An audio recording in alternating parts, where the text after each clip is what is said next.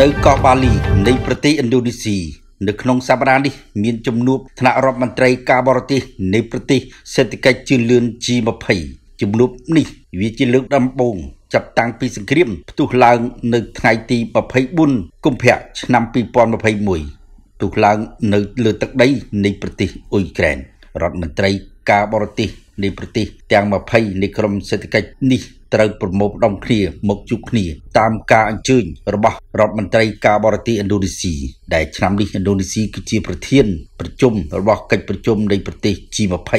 នៅក្នុងជំនួបនេះត្រូវបានទីភ្នាក់ងារសារព័ត៌មាន Associated Press ចុះផ្សាយថារដ្ឋមន្ត្រីការបរទេសអាមេរិក Anthony Blinken ត្រូវជួបដាច់ដោយឡែក ជាមួយនឹងរដ្ឋមន្ត្រីការបរទេសចិនលោកវ៉ាងជីហើយជំនួបនោះប្រភពដដែលនេះបញ្ជាក់ថាលោក Blinken នឹងប្រាប់ទៅលោកវ៉ាងជីឲ្យលោកវ៉ាងជីប្រាប់ទៅ សមាភិកីរុស្ស៊ី Sigelarus ដែលមាននៅក្នុងកិច្ចប្រជុំនៅឯវេទិកានៃកិច្ចប្រជុំរបស់ G20 ផងដែរនៅលើកោះបាលីប្រទេសឥណ្ឌូនេស៊ីនេះអ្នកសង្កេតការមើលឃើញថាលោក Blinken ដែលជួបលោកវ៉ាងជីដាច់ដライនេះគឺរបៀបរយៈពិសេសបំផុតនោះ គឺបញ្ហានៃសង្គ្រាមនៅលើទឹកដីអ៊ុយក្រែនប៉ុន្តែយ៉ាងនេះក្តីសន្និសិទរដ្ឋថ្នាក់រដ្ឋមន្ត្រីការបរទេសនៃប្រទេស G20 ក៏ផ្ដោតសំខាន់ទៅលើសង្គ្រាមនៅលើទឹកដីអ៊ុយក្រែនផងដែរសម្រាប់ចិនមិនចូលរួមដាក់ទណ្ឌកម្មជាមួយនឹងសហគមន៍អន្តរជាតិទៅលើរបបទីក្រុងមូស្គូនោះទេ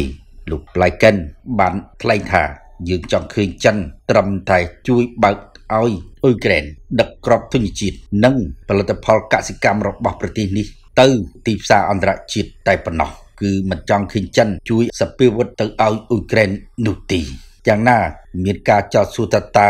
សមាភិកីចិនវ៉ាងយីទទួលយកសម្ពាធរបស់អាមេរិកដែរឬទេដែលគៀបទីក្រុងមូស្គូឲ្យបើកផ្លូវឲ្យអ៊ុយក្រែនបញ្ចេញក្របធញ្ញជាតិផលិតផលកសិកម្មទៅលក់នៅក្រៅប្រទេសនោះតែជាមួយគ្នានេះ ក៏មានការព្យាករណ៍ថា នៅពេលដែលរដ្ឋមន្ត្រីការបរទេសរុស្ស៊ីឡើងថ្លែងលើវេទិកានៃថ្នាក់រដ្ឋមន្ត្រីការបរទេស G20 នេះច្បាស់ណាស់ប្រទេសជាច្រើនដែលដាក់ទណ្ឌកម្មទៅលើរបបទីក្រុងមូស្គូនិងមិនស្ដាប់សេចក្តីថ្លែងការណ៍របស់លោក Sergei Lavrov នោះទេហើយបន្ថែមលើនេះ រដ្ឋមន្ត្រីការបរទេសប្រទេសមួយចំនួននោះប្រហែលជានឹងធ្វើពហិការដើរចេញពីកិច្ចប្រជុំផងដែរនៅពេលដែលដល់វេនសេចក្តីថ្លែងការណ៍របស់រដ្ឋមន្ត្រីការបរទេសរុស្ស៊ីលោកសេហ្គេឡារុសឡើងថ្លែងអំពីបរិបទពិភពលោកនោះដើម្បីជ្រាបបន្តទៀតសូមស្ដាប់ការប្រែសម្រួលបន្ថែមដោយក្រុម7 Info ដែលមានដូចតទៅនេះប្រមុខការបរទេសសហរដ្ឋអាមេរិកនិងជួបប្រមុខការបរទេសចិនឲ្យនិយាយជាមួយនឹងរុស្ស៊ីរឿងបិទការនាំចេញស្បៀងពិភពលោក ប្រមុខការបរទេសសហរដ្ឋអាមេរិក Anthony Blinken នឹងមានជំនួបជាមួយនឹងលោករដ្ឋមន្ត្រីការបរទេសចិនវ៉ាងយីដេញដលៃចេញពីសន្និសីទថ្នាក់រដ្ឋមន្ត្រីនៃក្រុមប្រទេស G20 នៅបាលីនៅក្នុងសប្តាហ៍នេះតែម្ដងប្រមុខការទូតកម្ពុជារបស់សហរដ្ឋអាមេរិកនេះត្រូវបានខាងក្រសួងការបរទេសសហរដ្ឋអាមេរិកលើកឡើងថានឹងមិនមានឡើយនៅជំនួបជាមួយនឹងសមាភិកីរុស្ស៊ីនៅដាច់ដライនោះទេដោយលោកចូលរួមតែជាមួយនឹងចិនតែប៉ុណ្ណោះ ក៏ប៉ុន្តែនៅក្នុងពេលដែលនិយាយជាមួយចិនលោក Blinken ត្រូវបានគេរៀបរាប់ថានឹងធ្វើការប្រមានចិនតែម្ដងប្រឆាំងចំពោះការគ្រប់គ្រងរុស្ស៊ីនៅក្នុងការលុកលុយអ៊ុយក្រែននេះទៅតាមប្រភពជាច្រើនបានប្រាប់ទៅកាន់សារព័ត៌មានអាចាសេរ៉ាហើយបាននិយាយទៀតថាគឺលោកនឹងប្រើប្រាស់នៅឱកាសនៃការជួបជាមួយនឹងបណ្ដាក្រុមរដ្ឋមន្ត្រីទាំង20ប្រទេសដើម្បីជំរុញដាក់សម្ពាធក្រុងមូស្គូនៃការគ្រប់គ្រងកិច្ចខិតខំប្រឹងប្រែងឲ្យបើកផ្លូវទឹកដែលរាំងខ្ទប់នៃការនាំចេញនៅស្បៀងអាហារនៃចំនួននោះវិញ Daniel Crittenbrick ដែលជាប្រេសិតសហរដ្ឋអាមេរិកប្រចាំអាស៊ីបូព៌ាបាននិយាយថាលោករំពឹងថានឹងមានការដោះដូរនៃជំនួបរវាងទំនាក់ទំនងលោក Blinken និងលោក Wang Yi នៅថ្ងៃសៅរ៍ខាងមុខនេះដែលវាជាឱកាសមួយនៅក្នុងការរំពឹងទុកនឹងគំនិតរបស់យើងចំពោះចិននៅអ្វីដែលត្រូវធ្វើអ្វីដែលមិនត្រូវធ្វើឡើយនៅក្នុងបរិបទនៃអ៊ុយក្រែននេះ នេះហាក់បីដូចជាការបង្គាប់សំណូមពររបស់សហរដ្ឋអាមេរិកទៅកាន់ចិន ចំពោះទំនាក់ទំនងជាមួយនឹងអ៊ុយក្រែននិងរុស្ស៊ី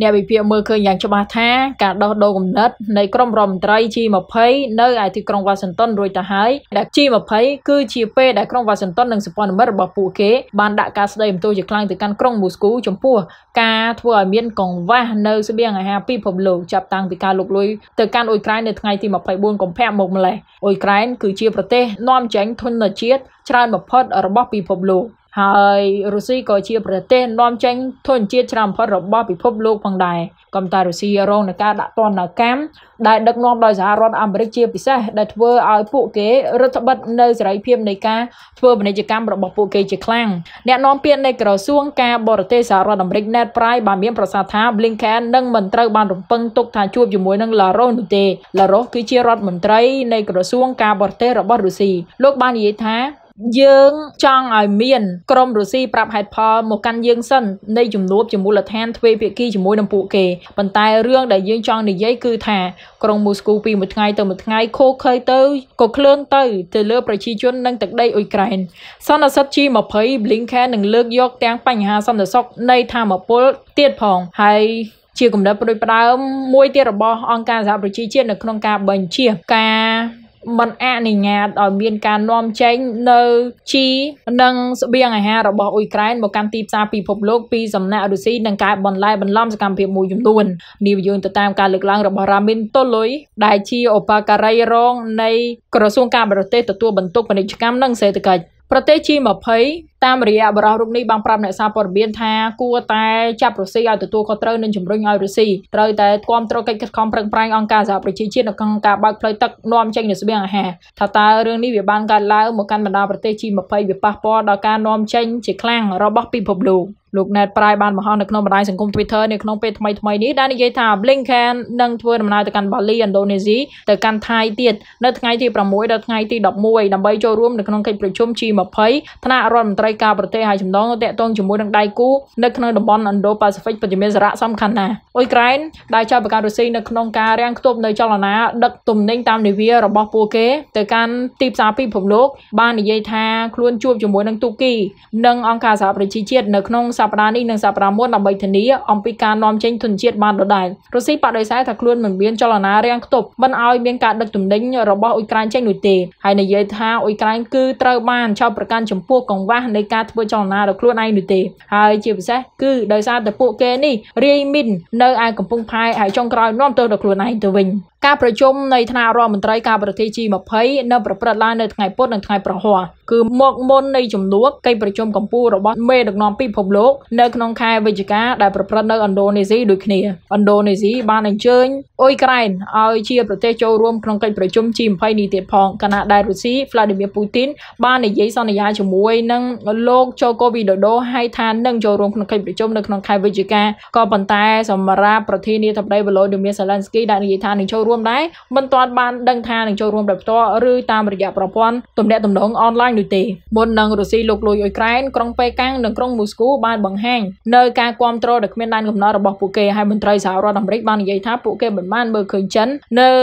ក្នុងការចេញមុខដាក់ទណ្ឌកម្មទៅកាន់ក្រុងមូស្គូនោះទេហើយពេលនោះគឺមន្ត្រីសហរដ្ឋអាមេរិកបាននិយាយថាពួកគេមិនចង់ឃើញចិនគត់ផ្គង់នៅសភាវុធជួយទៅកាន់អ៊ុយក្រែននោះទេចិនបានបដិសេធនៅក្នុងការថ្កោលទោសកម្មភាពរបស់រុស្ស៊ីហើយរិះគន់ចំពោះការដាក់ទណ្ឌកម្មទៅវិញមន្ត្រីសហរដ្ឋអាមេរិកបានប្រមានចំពោះផលវិបាកនៃការដាក់ទណ្ឌកម្មរួមជាមួយនឹងចិនផងដែរនៅក្នុងការគ្រប់គ្រងផ្នែកសម្ភារៈណាមួយនៃកិច្ចខិតខំប្រឹងប្រែងធ្វើសង្គ្រាមរបស់រុស្ស៊ីក្រុងវ៉ាស៊ីនតោនបានចាត់ទុកថាចិនគឺជាដៃគូប្រកួតប្រជែងយុទ្ធសាស្ត្រមួយដ៏ធំរបស់ខ្លួនពីមួយថ្ងៃទៅមួយថ្ងៃក្នុងខណៈដែលចិនក៏កំពុងតែមានគម្រោងការនៅក្នុងការយកទឹកដីដែនកោះតៃវ៉ាន់មកវិញដោយដែលរុស្ស៊ីលោកលួចអ៊ុយក្រែនដែរ Clinton Brick ដែលជាប្រិយសិទ្ធិពិសេសរបស់សហរដ្ឋអាមេរិកប្រចាំអាស៊ីបូព៌ាបាននិយាយថាវាមានសារៈសំខាន់ណាស់នៅក្នុងការបើកទំនាក់ទំនងជាមួយនឹងភាគីចិនដើម្បីធានាថាយើងអាចបង្ការការមើលឃើញគ្នាខុសនឹងការបង្កចំនួននិងបញ្ហាប្រឈមក្រសួងការបរទេសសហរដ្ឋអាមេរិកបាននិយាយថាដំណើរទស្សនកិច្ចអាស៊ីរបស់ Blinken នឹងចាប់ផ្ដើមនៅឥណ្ឌូនេស៊ីនៅថ្ងៃពុធជាមួយនឹងការរួមមាននៅការទស្សនកិច្ចនៅឯប្រទេសថៃផងដែរហើយនៅបាលីលោក Blinken នឹងជួបជាមួយនឹងសមាភិកីឥណ្ឌូនេស៊ីរ៉ាណូម៉ាស៊ូឌីហើយនៅបាងកកលោកក៏នឹងជួបជាមួយនឹងនាយករដ្ឋមន្ត្រីថៃតែម្ដងគឺលោកប្រយុទ្ធច័ន្ទអូចា កន្លងមកនៅក្នុងកិច្ចប្រជុំ G7 មិនទាន់ដល់កិច្ចប្រជុំ G20 នោះទេសហរដ្ឋអាមេរិកនិងបណ្ដាប្រទេសជាស្ព័ន្ធមិត្តមួយចំនួននៅពេលដែលខាងរដ្ឋមន្ត្រីរបស់រុស្ស៊ីបានលើកឡើងមកនិយាយពួកគេបានដើរចេញពីកិច្ចប្រជុំសហរដ្ឋអាមេរិកក៏ជាប្រទេសមួយដែលអំពាវនាវឲ្យប្រធាននៃកិច្ចប្រជុំ G20 និងជាម្ចាស់ផ្ទះ G20 នៅក្នុងឆ្នាំនេះគឺឥណ្ឌូនេស៊ីមិនគួរនៅក្នុងការអញ្ជើញរុស្ស៊ីមកចូលរួមនោះទេពួកគេហាក់បីដូចជាបង្ហាញនៅជំហរនៃការការអាចធ្វើបេតិកានៃការមិនចូលរួមបាន